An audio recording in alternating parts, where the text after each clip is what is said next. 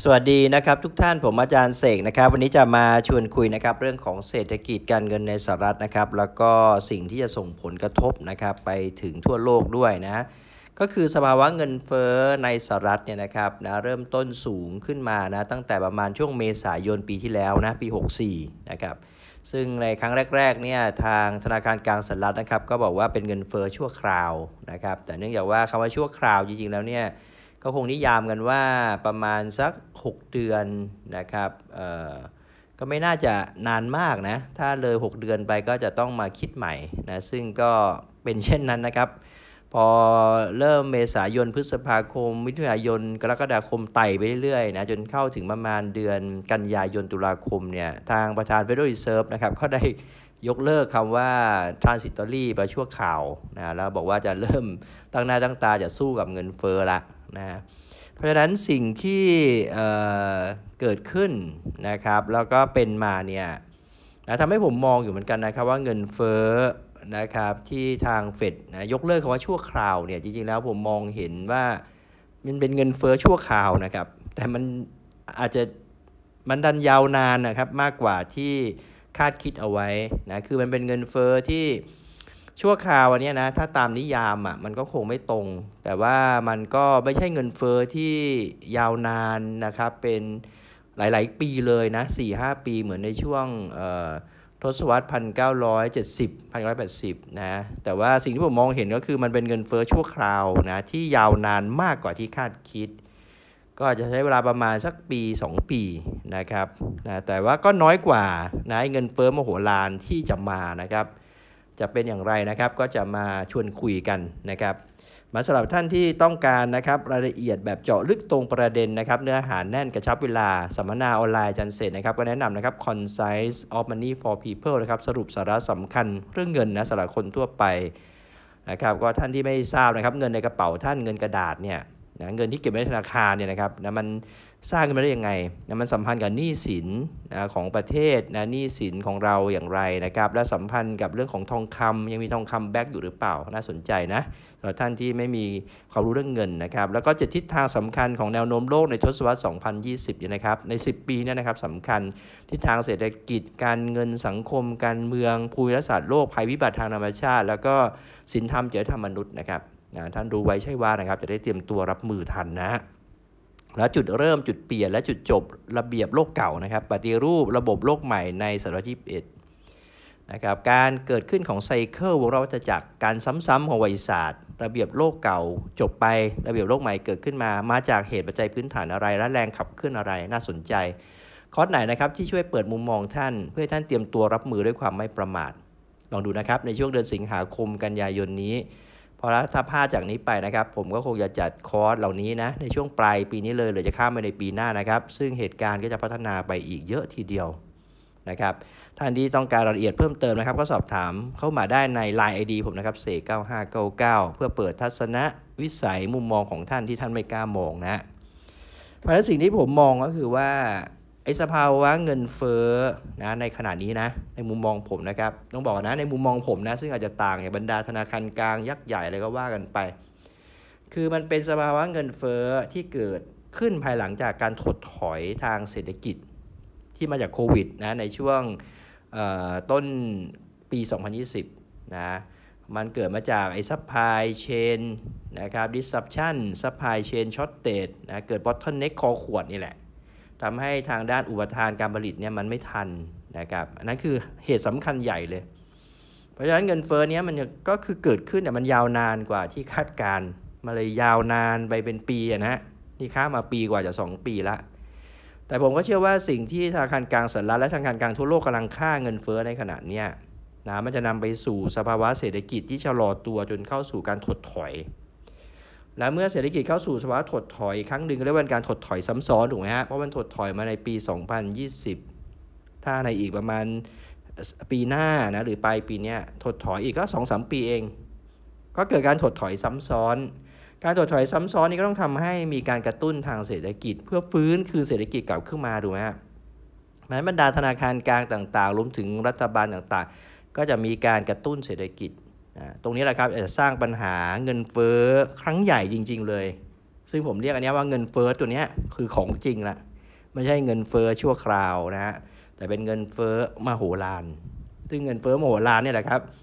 มันจะเกิดขึ้นในภาวะเศรษฐกิจที่กำลังจะชะลอตัวแล้วก็ถดถอยด้วย ซึ่งไม่เคยเห็นมาก่อนนะครับ ในประวัติศาสตร์ ต้องบอกว่าในรอบร้อยปีนะไม่เคยเห็นมาก่อน แล้วก็จะหลุดพ้นนะครับจากวังบน สภาวะอึมครึมเนี่ยออกไปสู่แสงสว่างที่ปลายอุโมงค์เรียกว่าการฟื้นคืนตัวนะครับของเศรษฐกิจนั่นเอง เพราะนั้นในระหว่างที่นะมันเปลี่ยนจากภาวะเศรษฐกิจนะครับในขณะนี้นะที่เป็นเงินเฟ้อชั่วคราวที่ยาวนานกว่าที่คาดคิดเนี่ยนะแล้วจะเกิดภาวะถดถอยตามมาในครึ่งปีหลังเนี้ยหรือจะต้นปีหน้า แล้วกลับเข้าไปสู่ภาวะเงินเฟ้อมโหฬารคำว่าเงินเฟ้อมโหฬารแปลว่าอะไรครับ ว่าค่าเงินด้อยค่ากว่าปัจจุบันนี้เยอะเลย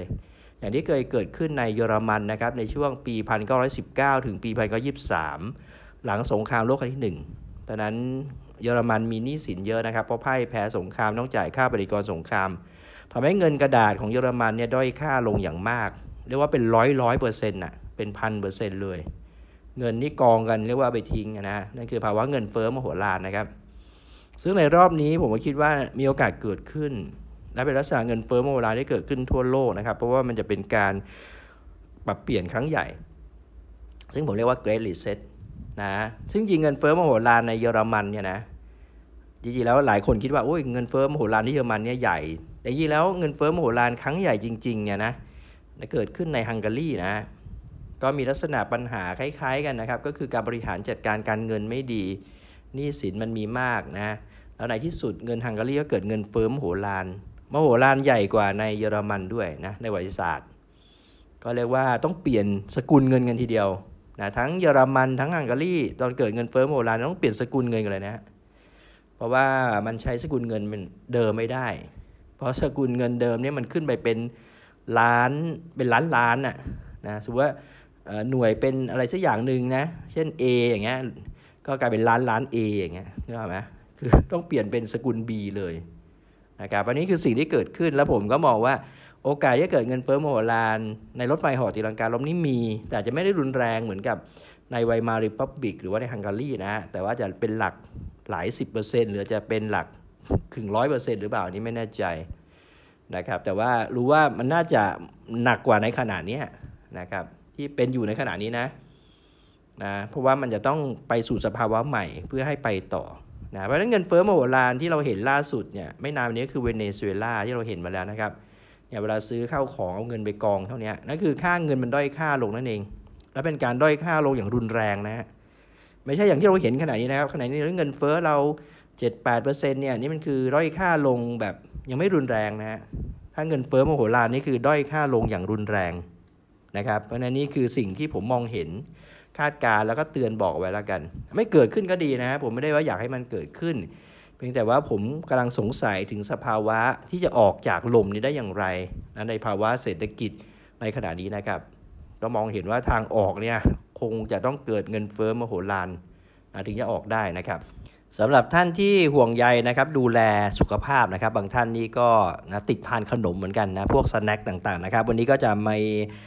snack นะครับมาแนะนำกันเรียกว่า healthy snack นะหรือขนมเพื่อสุขภาพนะครับ ซึ่งควรจะมีส่วนประกอบนะดังนี้นะเวลาเราทานขนมทานเล่นเนี่ยนะครับสำหรับคนที่ดูแลสุขภาพ คือเป็นพวกผักและผลไม้สดนะครับ ซึ่งมีวิตามินแล้วก็ไฟเบอร์สูงนะครับ หรือว่าเป็นขนมที่ทำจากธัญพืชนะครับนะเช่นข้าวนะแป้งไม่ขัดขาวนะวิตามิน แล้วก็ใยอาหารนะครับ อย่างเช่น พวกลูกเดือยนะครับรำข้าวแล้วก็จมูกข้าวนะหรืองาดำนะครับ หรือว่าไขมันดีจากพืชนะครับ อย่างเช่น พวกเม็ดมะม่วงหิมพานต์นะแมคคาเดเมียนะถั่วลายเสือนะครับอัลมอนด์นะครับเป็นต้นนะหรือว่าโปรตีนจากพืชนะครับ อย่างเช่น ถั่วชนิดต่างๆนะถั่วเขียว ถั่วแดง ถั่วดำนะเห็ดนะครับ หรือว่าเห็ดอบกรอบนะพวกคุกกี้เห็ดอย่างเงี้ยเป็นต้นนะผลิตภัณฑ์จากเห็ดอันนี้ก็น่าสนใจนะสำหรับผู้ที่ชอบทานอาหารเล่นนะครับ เพราะฉะนั้น อันนี้ก็เป็นทางเลือกทางหนึ่งนะแต่ว่าสำหรับผู้ที่ดูแลนะสุขภาพนะครับเพราะว่าสุขภาพดีก็นำไปสู่จิตใจที่แจ่มใสเบิกบานนะครับ ก็มีพละกำลังในการทำการงานในทุกเพศ ทุกวัยทุกวันนะครับสำหรับท่านและครอบครัวนะท่านที่ต้องการสนับสนุนนะผลิตภัณฑ์จากเกษตรกรอินทรีย์นะครับ ก็สามารถเลือกคัดสรรอาหารดูแลสุขภาพอาหารออร์แกนิกอินทรีย์นะปลอดสารพิษนะครับ ก็มีอัปเดตนะทุกสัปดาห์ ก็สอบถามได้ที่โทรนะครับ หรือว่า